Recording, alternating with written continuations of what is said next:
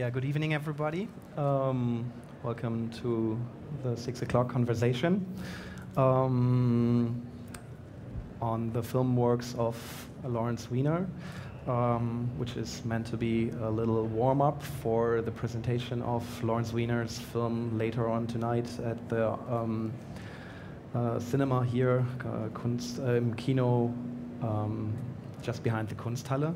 The film will be Dirty Eyes from Lawrence Weiner, produced um, late late in the last year and uh, premiered this year uh, at uh, the Berl uh, Berlinale Film Festival. Um, we wanted to have a short talk here together with Gregor Stemmrich. Uh, I'm very happy that he had the chance to come. Uh, Professor Stemmrich, so he, he, studied uh, art, art history, and philosophy, and as professor for art history at the Free University in Berlin. And his publications reach from uh, a minimal art, a critical retrospective, to books on Jeff Wall, Dan Graham, uh, a book on uh, cinema and art, or Kunstkino, and of course, uh, maybe the most important one for tonight as well is having been said, writings and interviews of Lawrence Weiner. Uh, this is the German version of the book, and it's also, of course, available in English. And so we thought it would be really a good point to start maybe to talk about uh, Lawrence's films um, and about the history of his film making uh, over the years. Um, so maybe as a kind of starting point, tracing back or talking about the films of, of Lawrence uh, means tracing back to the really early years, not the really early years, like the first, I would say, in the 60s works, but um, to the early 70s. And I found it quite interesting that um, he, he, when he started to really do films uh, and to shift to this medium. Um, in the relation to what he has been doing before, what would you say? Like, there seems to be this, this key moment in yeah. uh, producing art and producing film and art at that moment in America, and how would you relate that to the other works that had been done before? It's rather complex. One has to see that he started in the early 60s, mid 60s, with painting and sculpture. And then using this experience to go on to the use of language. Language as material in reference to material, which he still thinks is basically sculpture. And he's very interested in the relationship of human beings to objects, to materials, the relationship of materials to materials. But he's also thinking that his art has meaning or can gain meaning within interpersonal relationships. Within his art, language in mm-hmm. relation to material, he's not able to deal with that. And film and video give him that access to create a mise en scène, a situation mm -hmm. for the presentation of such interrelational possible meanings of his works. Mm -hmm. And that was very important. And he was not the only artist who was inter interested at that time, early 70s, in the use of film. But when we think, we had two avant-gardes. Mid 70s, this article of uh, Peter, Peter, Peter Wollen yeah. came out, the two avant-gardes in filmmaking. Mm -hmm. Meaning there's an avant-garde, let's say, of Eisenstein to Godard, mm -hmm. and there's experimental film working done by artists or filmmakers very close to the art world. And this model, we have two avant-gardes, which is weird enough, didn't work anymore. Artists like David Lamelas, Yvonne Rainer, and um, Lawrence Weiner, all in 1973 started to make large feature films. Mm -hmm. Not in the Hollywood sense of a feature film, but in their own sense what they wanted to do with it. They mm -hmm. wanted to relate to Hollywood, all of these. It was clearly a reference point, but not with the intention to enter the Hollywood scene. That's the point, not at all. But they want to have another relationship of art to the culture mm -hmm. in a way that was. We have this in the 90s, or the video installation work that is dealing with Hollywood. That was another another time. The the means were different, but. Uh, also the aim was would say like nowadays the aim might also be different that art like artists actually aim for Hollywood wanting that's to be a, in this scene. In the late 70s, early 80s, a lot of artists, uh, Robert Longo, uh, Cindy Sherman, and others, really went to Hollywood and got commissions there and did movies. Warhol tried this, but let's go back to Godard. Godard was a real influence for mm -hmm. Weiner he hold, holds him in highest esteem at that time. Also for Yvonne Rainer and other artists, they knew exactly what he was doing and what kind of uh, effect this had on the whole culture. Mm -hmm. And this was a role model in a, in a sense, more than Andy Warhol, I would say, mm -hmm. which connects uh, Hollywood mimicry with underground cinema and inventing the superstar. Then uh, uh, Lawrence Weiner is not mm -hmm. interested in a superstar system, neither mm -hmm. David Lamelas or any of these artists that changed the format of filmmaking done by artists from experimental structural filmmaking and so on to this other kind of uh, format. And what's very important, the first film had the title A First Quarter. First quarter. And quarter implies that four quarters were planned. Mm -hmm. And he realized two or three years later a second quarter. And what is meant by this is, a, is an idea of a set. Mm -hmm. And each of these films uh, was related to a cultural ambience. Mm -hmm. The first quarter was related to New York Mm -hmm. very much New York Emirates. The second quarter, he, Lawrence Weiner had a DAAD um, mm -hmm. grant, was done in Berlin. Mm -hmm. Totally different atmosphere. Mm-hmm. And this kind of relationship to his, of his art to the, uh, to the culture at large, aber, but a specific place, a specific kind of culture, cultural history. Mm-hmm. Berlin is very histo historically loaded was very important for him. And there's another point it's a situation outside the art world. It's not bound to the notion of the art world, what's, what is important in the art world, what is not mm. important, and so on. And this is quite different from his videographic work, which started in 19, uh, 1970. Mm. The early videographic pieces, here, Leo Castelli had a video camera and he did very easy pieces using uh, early works of his like To and Fro, Fro and Two, and mm -hmm. To and Fro, and mm -hmm. Fro and Two. Somebody, one only sees a hand, is doing this on a mm -hmm. table. Mm-hmm. It's a kind of advertisement for his own work, how it could be seen, how it could be realized, how it could be visualized. So it's directed towards the filmmaking as a kind of process, or like for the, the video making. The actually. art world. There's the art. There yeah. is a camera of the galleries, there is a mm -hmm. kind mm-hmm. of advertisement, mm -hmm. and so on. It's changed very qu quickly, but I would say generally there is a closer relationship between his videographic work to the art context.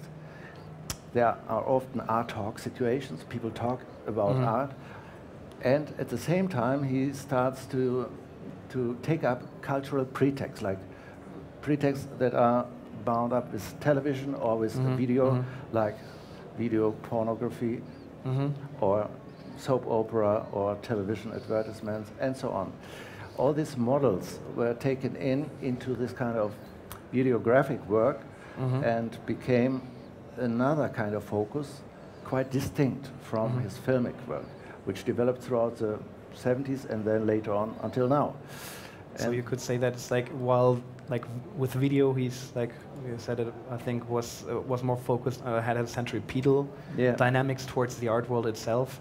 The the film has the tendency to reach beyond and like I the centrifugal so. dynamics. Almost. It's really that way, and it goes hand in hand mm -hmm. in opposite directions, and uh, both models are related to the broader cultural context. What I say in relation to to video, it's mm. video. A video can easily present it on a monitor in a gallery space. Mm. That's not the same with this film. He's not interested in film installation work, uh, installation work, but presenting film in theaters, mm -hmm. a certain situation, closed off in a certain way from the art world. Uh, but, but, it, but, it's also the intention with doing film, for instance, also leaving the regular set of the museum. That's, That's like I, I, think where he says, yeah. and one of I was uh, as as I reminded clearly that it's in one of his commentaries on specifically on the first quarter. He's he's saying it's not. Um, uh, what uh, what is art, but it's where is art. Like this, this shift is also yeah. this to have this focus on clearly what is the setup to do this in a in another space. Yeah. So this is kind of and that, that's something that he also addresses then in a, a lot of his his written writings. Then later yeah. on, of course, yeah. the question of like where actually is it happening and what is the what is the dynamics that comes out of this shift, like putting this not here but there. It's a very important question from him, for him where does not only mean where is it presented, but where is the meaning of the work? And this kind of notion of interpersonal relationships. Mm-hmm. His work, the, work I just mentioned in relation to video, to and fro, fro and to, and to and fro, and fro and to, is used as a device in uh, first quarter. Mm-hmm. But there, a woman is doing something on the chest of a man, and so it's another kind of interpersonal relationship that is not present in the video graphic work from 1970. Mm-hmm. So these kinds of distinctions are very important, and video is much more graphic. Mm-hmm. It's uh, drawing in a certain way. It's shadow, but it's flat, more mm-hmm. flat than mm-hmm. a filmic image. And he's very aware of these differences. And in an interview, he said he sees film like sculpture. sculpture it's yeah. cut material, mm. and this kind of cutting or editing mm-hmm. is very close in the beginning to Godard because there is no continuous narrative, but everything mm. is sort of fragmented. Uh, people can identify to a certain point with a mm. character or mm. a phase. It's not no character is developed like in a Hollywood movie, mm-hmm. but uh, you have a kind of need to identify with a certain person, and then you get interrupted somehow. Other scenes or repetition of scenes with other other soundtrack or other uh, written or he, I mean, also in the later works, he's following up on that, and I, I always kept that in mind. Uh, also coming, of course, like from a film studies background, for me it was interesting to to have this correlation between this uh, this this or this continuity in this Godard interest that yeah. e even in the later films is is there, and you have always this aspect of two dimensions of the narrative almost like that you have this as you say like another uh, one one sequence and another sequence and yeah. and, and I, th I, think he describes it uh, like that almost and and and this and this and yeah. this and this like to see them like you know as a kind of sequence cut one after the other yeah. while the cuts are actually the ones that all of a sudden go to the forefront apart from the scenes there's all, all uh, because of this like like un unleashing this kind of tight knots of the narrative, yeah. all of a sudden a certain um, uh, approach to a more like structural di dimension of the whole thing, seeing the image as the image, seeing the face as the face, or like you know, seeing the different um, the different aspects that are in the actual film that and how they are combined as as objects almost. The term structure is very precise because that's a term he's using all the time when he makes a video, he says it's a structure, mm. or a film, and even a book. It's a structure. Um, because there are certain elements, you see them as elements, and you relate them or see how he or somebody related them, but the activity of the receiver is also part of the game because you can't avoid relating things in a certain way and at the same time being aware that you are the one who makes decisions some things go so fast, you have to make a decision where to look and how to connect or uh, how to take up the written language in the image or the spoken language or the, what the people doing. Mm -hmm. If they execute, if they fabricate a work mm -hmm. of his so that relates to language, to written language, and to interpersonal relationship. And it's very important to know, otherwise you would have a complete misunderstanding of his films. It's not about acting. He says his the people he is collaborating with are players. Mm-hmm. And you very much get the sense that he takes people out of an everyday normal context, people he has contact to, and mm-hmm. asks them, he can't give them the money. He's mm-hmm. not so super rich that he would pay them for that. Are you prepared? Would, would it be okay for you to be a part in this kind of mm-hmm. structure I'm developing? And he had no written script. He makes drawings, mm-hmm. kind of ideas, structures, wonderful drawings. Mm-hmm sometimes a certain sentence or a work and a photograph and all kinds of elements. And he will present this to these collaborators. Mm -hmm. And they get ideas what they can do within this kind of structure that builds itself in the process. The production is as important as the presentation. Mm -hmm. The production is process that is not totally determined by his decisions. Mm -hmm but the way they, the players then start to, to act in, in, in, this, in these films, it brings to mind, uh, without uh, saying, uh, not saying that it is Brechtian, but there is this, all of a sudden this, this moment that they act out, and it is like continuously in, the, in, in, yeah. this, in this film. There's always this irritation moment. You can't feel any kind of empathy with them. Like, you know, you always yeah. stay away from them in a certain way, but you see them in the way they are, like, you know, acting. they play a role Yeah. that's quite obvious, but in a But totally different way. right? It's Brechtian, but the attitude of the people are less Brechtian than Mhm. in the typically Yeah. Brechtian sense, because they are really taken out of an everyday experience, context. He knows his people, and they behave like normal people, but got a task. The idea of task-like act- Mhm. activity was very, very dominant in the 60s. It even was a term that um, Yvonne Rainer used to translate principles from minimal art to Mhm. dance. Milit- literalness is task, task-like activity. You see, they have a task, and they do it as good as they can, and there's no intent to build up a certain image of a character, a Mhm. self-centered figure, a protagonist who is uh, fascinating the public. You see a split. There is a person and there is a role. And Mhm. the person, okay, is prepared to do this because there is this role. So there is always a split. You have the idea these are normal people in everyday context, Mhm. and these are people who play a role for the purpose. And then Mhm. you ask, what is the purpose? What there means to an end? What kind of end? And this is not totally clear because you are part of the process to see how it is staged in a way. Mhm. It's, it's not theater, but film, but it is Mhm. staged in a certain way, and Mhm. that comes close to what you say about Yeah, yeah. Brecht. And then you also like for me, what's interesting uh, to uh, to see how he at certain points, for instance, um, in the film that we will see tonight in Dirty Eyes, uh, he's using this reference momentum, for instance, uh, uh, kind of like very small gesture that, for instance, uh, um, one actor is doing Yeah. This movement, uh, a clear reference for me, like seeing that. Uh, uh, uh, remind, being reminded of Abu Souffle or Breathless uh, from Godard, uh, very direct uh, quote, while Godard already making this quote Mm. uh, as a reference to um, to um, Humphrey Bogart uh, or the, de- the detectives, Okay. the detective films, of course. Um, and I was immediately intrigued to, to see like, oh, this is like, it leads somewhere. There's all, all of a sudden this kind of clue, but like it leads to nowhere actually. Like he lets you, Yeah.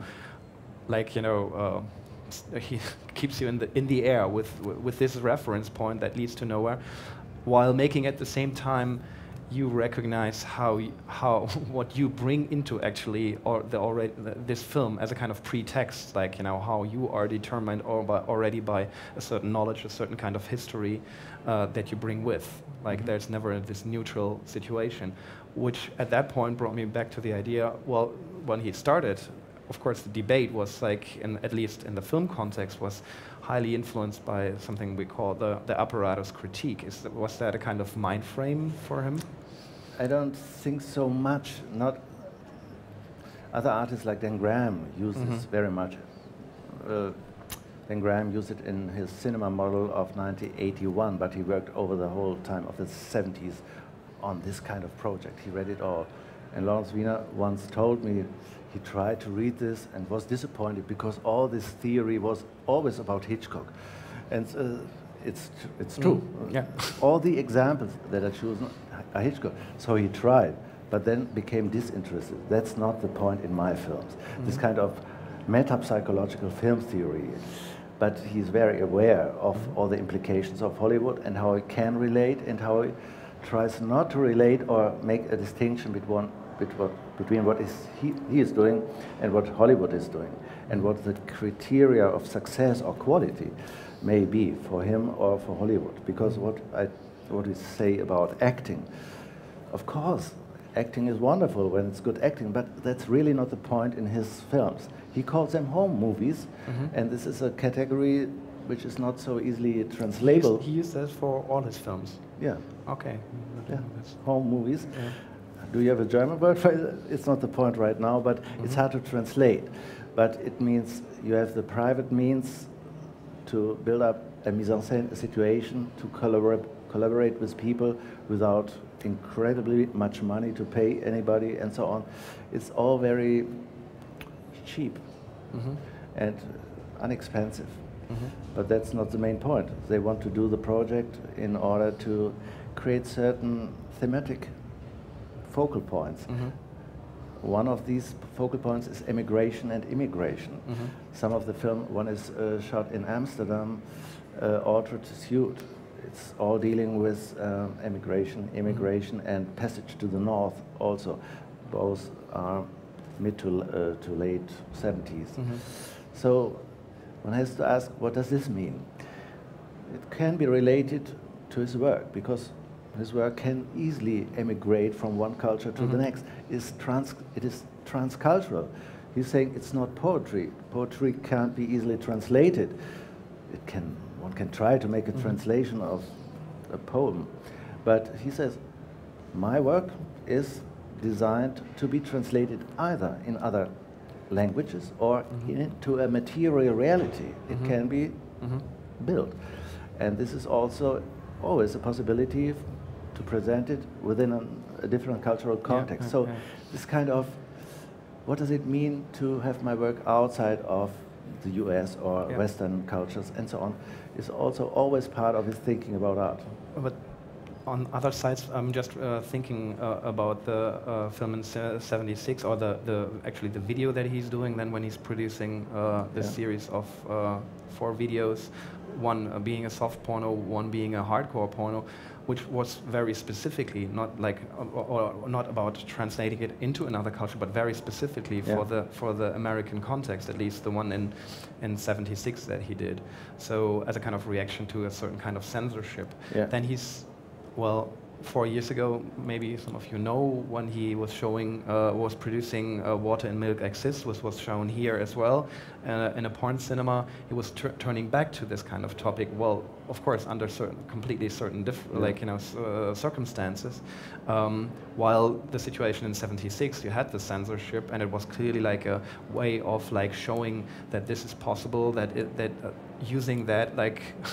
tool of artist film like to be able to or like to overcome the censorship yeah. and showing like well this is just what what it is nothing less and nothing nothing more yeah. and um, then returning actually to this question of like maybe the, this pornographic momentum uh, four years ago, which I found interesting, um, while at the same time then like you know with the, the situation of the net and uh, the availab availability of porn at that moment, you have a completely different scenario, even of course in the states. Yeah. So how would you see this this this connection or this inter interest in this specific, like of course, like this body-centered question, like the body yeah. is generally important to him, it's but but, but the, this specific question. Um, I think he always rejected the term conceptual art. Mm -hmm. Everybody says Lawrence Weiner, of course, a conceptual artist.